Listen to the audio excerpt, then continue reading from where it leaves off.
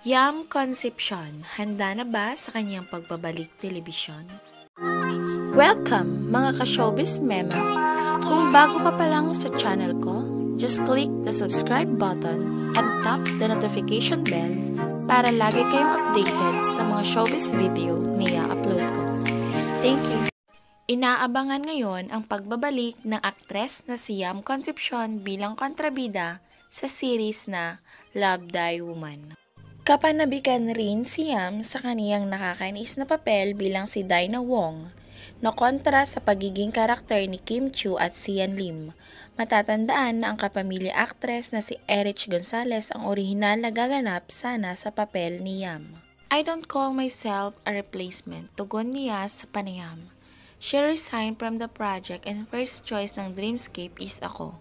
Kasi pumunta sila sa Viva and they presented to me the story. During that time, hindi ko alam na umalis na pala si Erich. So ako, sabi ko, sige, pwede. I'll read the script first, then I'll let you go, guys. Komento ng aktres, magandang pagkakataon at bagong oportunidad ang karakter kaya hindi rin siya nagdalong isip na bigyang buhay ito. Ako naman, kasi magandang opportunity. Kasi makakatrabaho ko yung mga big cast. Kaya sabi ko, big opportunity ito for me. So I took the project. At kung tatanungin naman kung may dapat bang pagsisihan si Erich sa iniwan niyang karakter, pabirong tugon ni Yam, aba, ewan ko, no comment.